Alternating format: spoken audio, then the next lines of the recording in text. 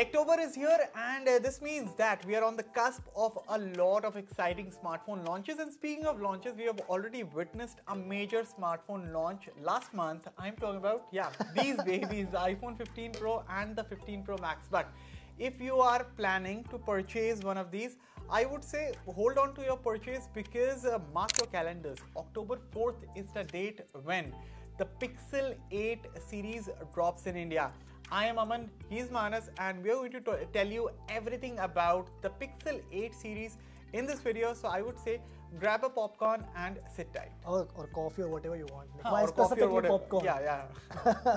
so anyway, so this Aman is probably the first person who is so excited about this Techtober because anyone and everyone else I know who covers this technology space is right now sweating like anything because there are so many launches planned for this month. They're going to be the Pixels, which we're going to talk about in this video. Then there's the OnePlus Foldable, OnePlus which is coming out yeah. soon. I'll be going for that. I'm 11 excited about that. R Red Solar Yeah, Edition is there. Solar. The Vivo V series, 29 series is coming out, and a lot of other. uh, Samsung is also planning Samsung launches. is- yeah. Wow. S23 FE. S23. But anyway, coming back to the Pixels, uh, So what do you know about the? What do you feel about the Pixels in India? First question to you. I am first of all relieved.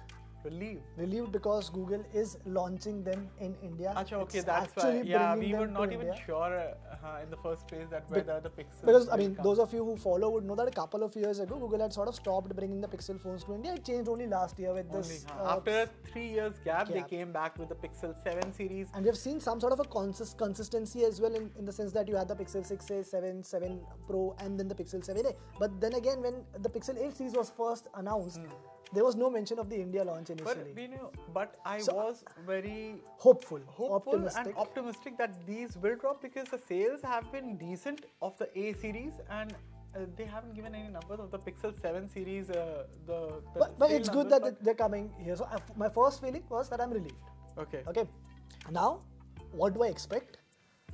This year of everything else, first of all, I expect them to be priced really nicely, really aggressively. You want to to start with the price? Yes. Okay, I'll give you a spoiler. I'll give you. Uh, so let's do one thing. Let's talk about the price at the end, but let's first give everyone a feel about what we are expecting on the phones this year. Okay, so the feel is that there are two sizes. These are iPhones, of course.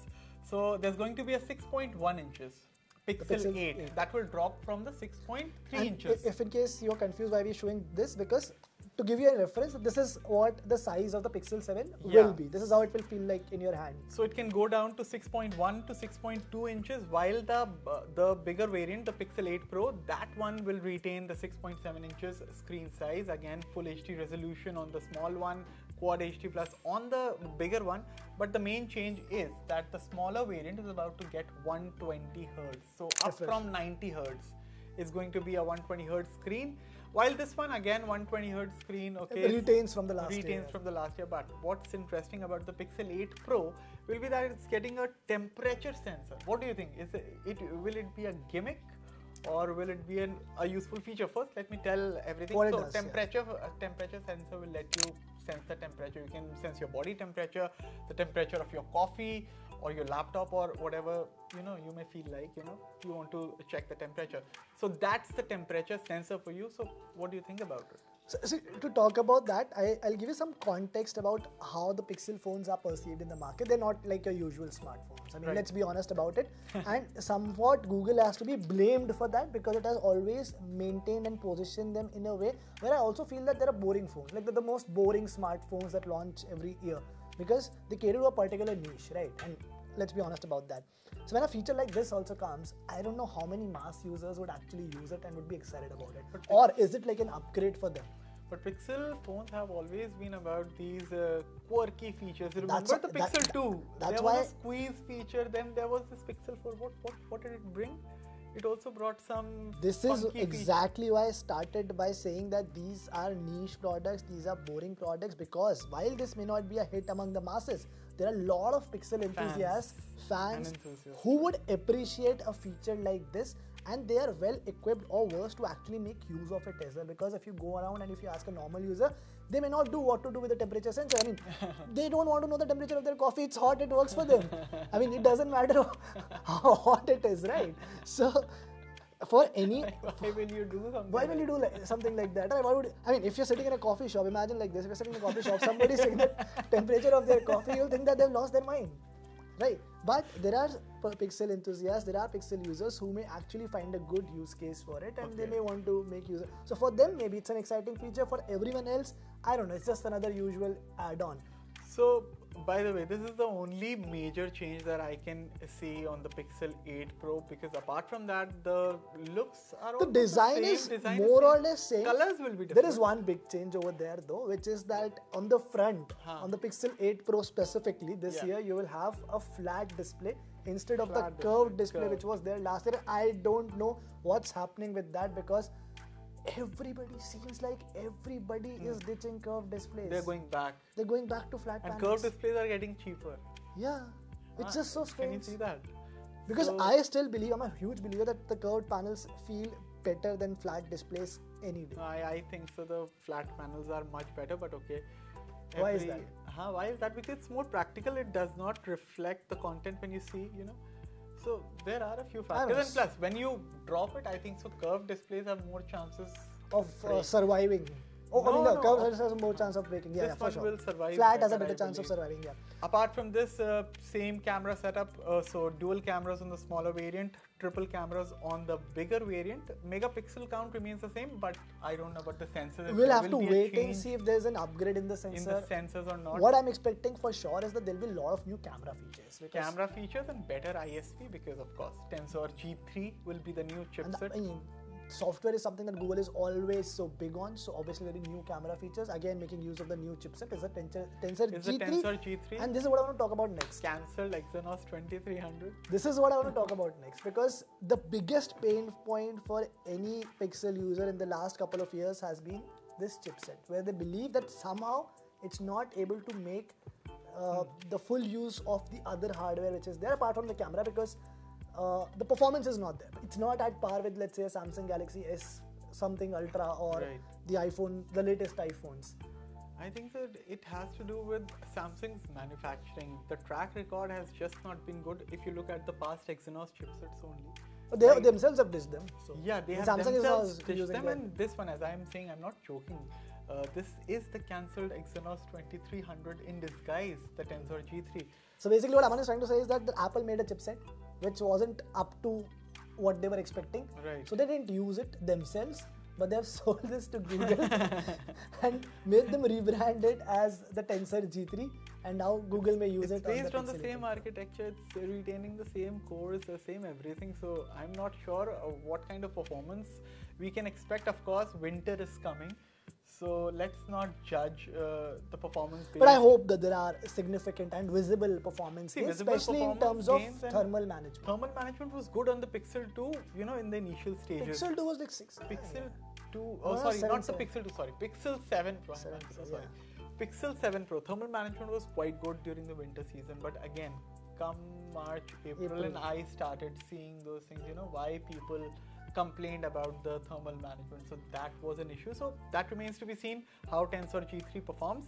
And uh, apart from this, battery and all they go with the getting a bump. usual stuff. I mean, Battery it's 45,000 mAh, Ah, which is 4500 4500 on the smaller one which is a 200 mAh something bump and bump, yeah. 5000 on the bigger one so that's I mean, that's pretty thing. standard. That's what you get on most other Android Yeah. flagships as well. Charging, again, we'll have to see because they don't usually give very fast charging. but about 27 23 20 watt wired charge 23 watt on the Pixel pixel, 8, 8. and the pixel 8 pro 27 watt wired okay pricing be- before the pricing, the other big story here and what we are hearing a lot of rumors about is the software support, and there's going to be a huge change in that Oh, because yeah, yeah. what initially we were hearing was that they may give five years of software support, But but, now there are rumors that they act they may actually give Seven seven, years. years. of software like support. and bypassing I- samsung and matching the iphone and I just don't want them to do it because Huh. this might be an excuse excuse to not launch a Pixel phone in India next year oh. or in, in the next two years. But okay, they haven't yet. uh, They haven't nothing- announced it officially Nothing is clear. Also, like what kind of seven years of upgrades these will be.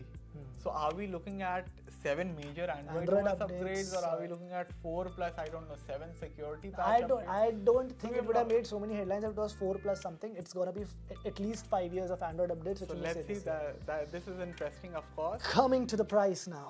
Okay, pricing Manas is $699 starting for the Pixel 8 and 999 Uh, reportedly. reportedly for $999 for the Pixel 8 Pro. These this is $100 Jump over the last jump over the models. last year models. Now, if I convert these prices, this is 58,000 rupees and 83,000 rupees roughly. Which is almost the same again as last year's Pixel 7 and 7 actually 2,000 rupees Pix- less. le- I mean, this is a direct conversion, so let's keep everything else in mind. So Pixel 7 came in at 60,000. 60,000. 7 Pro came at 85,000. Right. So this is if, if like the direct, conversion comes about in the same region. What do you think? Will it But- be the same or not? But of course, it won't be the direct conversion. I think so. If if the US pricing is getting a bump, Indian price will also get a bump. My hunch is 65,000 rupees for the Pixel 8 if Google is going all aggressive, and uh, max it can go to 70,000 for the If- for the Pixel 8. if being aggressive, They will increase. if being aggressive is at 60. if being aggressive is pricing the Pixel 8 at 65,000, then I think Google will be shooting itself in the foot because at 65,000 I simply don't see too many people buying the Pixel 8 and at 95,000 I surely don't see anyone buying the Pixel 8 Pro because by that logic, 90 to 90. Yeah, by, that, by that logic, yeah, a Pixel 8 Pro. lot of competition and you have to factor in that right now all these sales that are coming up they're going to sell iphone 13 and 14 for 40000 50000 rupees iPhone 13 is already being advertised for 39,999. exactly and the pic, for, for 14 is coming in at 50000 why would you I, I, I didn't know about that. there's a 20000 rupees price cut there i mean with the card offers and everything now if you factor that in why would anyone want to spend 65000 rupees on a pixel 8 and by the way google is already doing some bizarre things i'll tell you the pixel 7 right now is selling for At less 40, 42,000. for less than what Pixel 7a is selling for. Right, right, right. So And the sale price 42,000 is also said to be go, to go around 35, 36,000. 42,000 for Pixel 7 and 44 for Pixel 7a. That is crazy. That is just, I, it doesn't make any sense. So I hope if these phones are to be a hit, and I believe that they can be a hit in India, and Google has already tested the market, they know that there is a demand, just price them right. I would say 50 to 55,000 for the Pixel 8 and somewhere around 70, between 70 to 80 for the Pixel 8 Pro. 70 You to 80, have that is quite aggressive. That is quite, and that you- that is where you can crack the Indian market finally, and you can actually be a threat or a competition to an iPhone or a Samsung Galaxy S series. But again, let's wait. Let's see what happens on 4th of October. That's the global launch. 5th of October is the uh, India launch. We'll be covering uh, both these events in detail. Of course, you'll get the videos here, and you can also go to our channel, which is Fiiber F double I With a double I.